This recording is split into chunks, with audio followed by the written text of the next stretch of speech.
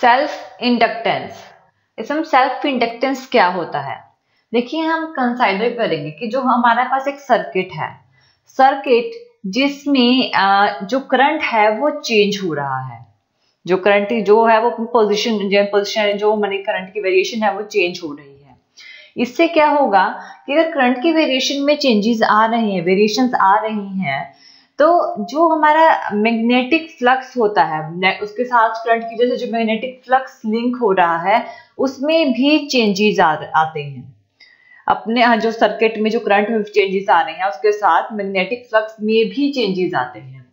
Self inductance की बात करें तो सेल्फ में जो, अगर करंट में, जैसे कोयल है, इसमें अगर चेंजेस आ रहे हैं सिंगल कोयल में तो उसके फ्लक्स में भी चेंजेस आएँगे। इस तरह से इसे शो किया जाता है। अगर हम फेराडे लॉ इंडक्शन में देखें तो जो ईएमएफ e इंड्यूस होगी सर्किट में, उस टाइम में, वो क्या होती है? ऑपोजिट होती है। जो जितना फ्लक्स चेंज हो रहा है, उसके ऑपोजिट होगी। यानी कि जितना करंट में चेंज आ रहा है, उसके ऑपोजिट होगी। ये बोल सकते हैं जो ईएमएफ e इंड्यूस होगी। तो जो ईएमएफ e इंड्यूस होती है उसमें सर्किट में जो ईएमएफ इंड्यूस होगी, उसे हम ईएमएफ ऑफ़ सेल्फ इंडक्टेंस बोलेंगे। सेल्फ क्यों बोलते हैं?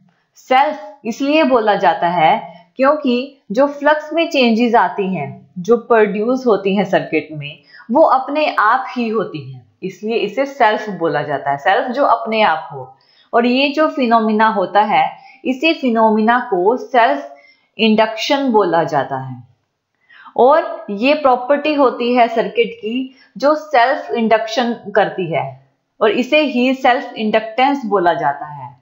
सेल्फ इंडक्शन को हम कैसे डिफाइन करेंगे? देखिए, जो हमारी सेल्फ इंडक्टेंस होगी, वो क्या होगी? सर्किट में सर्किट जो कि वो प्रॉपर्टी जिसमें सर्किट में चेंज आते हैं। चेंज आते हैं सर्किट के करंट में। अगर सर्किट करंट में चेंज आ रही है तो उसमें जो ईएमएफ e इंड्यूस हो रही है सर्किट में, वो अपोज करेगी जितना चेंज होगा करंट में उसके, उतना अपोज करेगी। यही सेल्फ इंडक्टेंस की डेफिनेशन होगी। जो मैग्नेटिक फ़ील्ड होती है, उसे बी से डिनोट किया जाता है। मैग्नेटिक फ़ील्ड किसी भी पर्टिकुलर पॉइंट पे, वो प्रोपोर्शनल होगी करंट के, यानी आई के, पूरे सर्किट में। और जो मैग्नेटिक फ्लक्स होगी, जिसे कि हम साय एम से डिनोट करते हैं, जो मैग्नेटिक फ्लक्स होती है, वो भी प्रोपोर्शन होती है आई के। यानी कि फाइ इसमें फाइ जो होगा, वो प्रोपोर्शनल होगा आई के। और प्रोपोर्शनैलिटी की जगह हम एल को लिखेंगे एल जो प्रोपो कॉन्स्टेंट होगा। और ये इज़ इक्वल टू होता है एन साई एम के साई एम किसका साइन होता है? साई एम मैग्नेटिक फ्लक्स का साइन होता है। मैग्नेटिक फ्लक्स का, जो भी प्रोपोर्शन होता है, ये इक्वल्स टू होता है आई के ठीक है? या फिर कहीं प्रोपोर्शन होता है आई के तो एल को हम कैसे रिप्रेजेंट करेंगे? एल ऐसे लिख सकते हैं L is equal to five upon I L is equal to five upon I या फिर L is equal to N psi M upon I ऐसे भी लिख सकते हैं। ठीक है? अब ये जो एल है एल जो कि कांस्टेंट है, और ये डिपेंड करेगा सर्किट की ज्योमेट्री पे। और जो मीडियम है, जिस, उस मीडियम की क्या परमेबिलिटी है, इस चीज़ पे डिपेंड करेगा। और इसे ही कोफिशियंट ऑफ़ सेल्फ इंडक्शन बोला जाता है। या फिर कहें सेल्फ इंडक्टेंस बोलते हैं सर्किट का। जो यूनिट होती है सेल्फ इंडक्टेंस की वो वेबर्स पर एम्पियर होगी या फिर हेनरी में होगी। अब देखिए कि इसमें सेल्फ इंडक्टेंस की जो डेफिनेशन है, जो कि हमने की है, अगर मीडियम एयर है अगर मीडियम क्या है? एयर है, उस मीडियम के लिए ये जो डेफिनेशन है वो सेटिस्फाई करेगी, जिसकी कांस्टेंट परमेबिलिटी होगी, जैसे कि एयर उसकी कांस्टेंट परमेबिलिटी होती है। और मीडियम जिसकी परमिबिलिटी कॉन्स्टेंट नहीं होती जैसे जैसे कि फेरस मीडियम होता है। तो उसमें ये क्या होगी? कांस्टेंट नहीं होगी सेटिस्फाई नहीं करेगी। तो जो सेल्फ इंडक्टेंस होगी, वो कैसे डिफाइन करेंगे? सेल्फ इंडक्टेंस को हम डिफाइन कर सकते हैं एक और फॉर्म में। कैसे? कि ये क्या होगी? रेशो होगी। इनफाइनाइट सीमल चार्ज की जो फ्लक्स लिंकेज में होगी किसकी? टू द इनफाइनाइट चार्ज की, जो करंट प्रोड्यूस होगा उसमें। यानी कि L is equal to D five upon D L ठीक है? जो कि हेनरी में होगा। ये जो डी फाइव है, ये सेल्फ लिंकेज ऑफ़ सर्किट को बताता है, जो कि वेबर्स में होगा। और ये करंट की करंट आई की वजह से होगा। और इक्वल होगा एन साई एम के, ठीक है? साई एम जो कि मैग्नेटिक फ्लक्स है। और एल जो है एल ये सेल्फ इंडक्टेंस होगा सर्किट का, जो कि वेबर पर एम्पियर में होगा और या फिर हेनरी में होगा।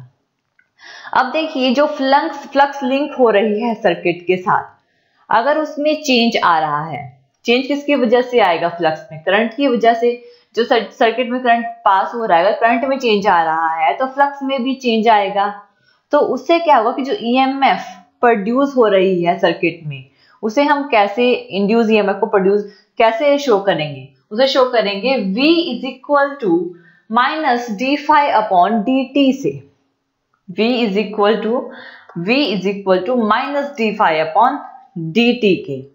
अब देखिए यहाँ पे डी फाइव इसको, यानी कि D five is equal to होगा L इंटू डी एल के। तो यहाँ पे L into D L put कर सकते हैं।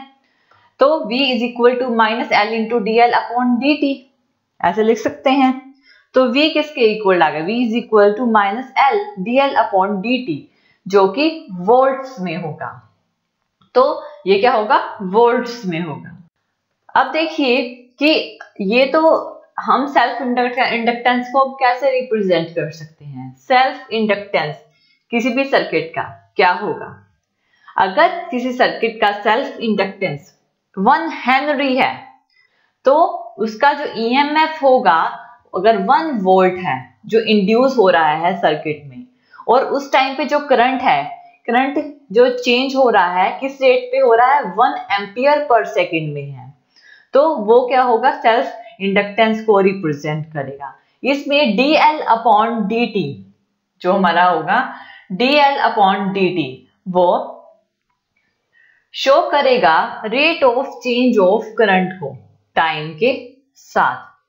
तो जो इंड्यूस ईएमएफ होगा करंट जो हमारा ईएमएफ इंड्यूस हो रहा है करंट के बढ़ने से सर्किट में, जो ओपोज होगा ओपोज किस, किसके ओपोज होगा? Decay of main current I की। तो इस तरह से हम सेल्फ इंडक्टेंस को क्या बोल सकते हैं? कि जो भी सेल्फ इंडक्टेंस एल होगा, उसे हम डिफाइन कर सकते हैं कि जो ईएमएफ इंड्यूस हो रहा है सर्किट में जब करंट डिके होगा अपने रेट पे वन यूनिट पर सेकंड पे। ये सेल्फ सेल्फ इंडक्टेंस को रिप्रेजेंट करता है। तो जो इंडक्टेंस है, वो एक इंपॉर्टेंट रोल प्ले करता है हमारे सर्किट में। अगर कोई भी चेंज हो रहा है सर्किट में, जो स्टेडी करंट है, उसमें, अगर कोई भी चेंज होता है स्टेडी करंट में सर्किट में तो वो क्या होगा? ओपोज करेगा किसके थ्रू जो ईएमएफ e इंड्यूस हो रहा है उसके थ्रू और क्यों? सेल्फ इंडक्टेंस की वजह से। तो इसमें जो हमने इक्वेशन की थी, वाली इक्वेशन इसमें नेगेटिव साइन लिया गया है। इसमें क्या लिया गया है? नेगेटिव साइन लिया गया है। वो इसी वजह से लिया गया है जो कि लेंस लॉ के अकॉर्डिंग है। जो ईएमएफ e सेट हो रही है एक पर्टिकुलर डायरेक्शन में वो ऑपोजिट होगी करंट के। इस तरह से हम उसे रिप्रेजेंट करते हैं। तो जो सेल्फ इंडक्टेंस में सिंगल कॉयल होगी सिंगल कॉयल होती है और किसी भी सर्किट का सेल्फ इंडक्टेंस क्या होगा? जो प्रॉपरली जो प्रॉपर्टी होगी सर्किट की। अगर उसमें सर्किट में कोई भी सर्किट के करंट में चेंज हो रहा है तो उस टाइम पे क्या होगा? ईएमएफ इंड्यूस जो होगी, वो ओपोज करेगी चेंज ऑफ़ करंट को। ठीक है? यही सेल्फ इंडक्टेंस रिप्रेजेंट करता है। या फिर कहें कि कोई सर्किट जिसमें करंट में चेंजेस हो रहे हैं तो जिसकी वजह से अगर करंट में चेंजेस हो रहे हैं तो जो उसके साथ मैग्नेटिक फ्लक्स लिंक होगी, उसमें भी चेंजेस होंगे। मैग्नेटिक फ्लक्स में अगर चेंज हो रहा है तो उसके साथ साथ जो ईएमएफ हो रही है प्रोड्यूस होगी सर्किट में वो अपोज करेगी चेंज इन फ्लक्स को या फिर चेंज इन करंट को। यही सेल्फ इंडक्टेंस शो करता है। Thank you thank you for watching this video और ज़्यादा अपडेटिंग वीडियोस के लिए आप हमारे चैनल लर्न एंड ग्रो पर हमें सब्सक्राइब कर सकते हैं। Thank you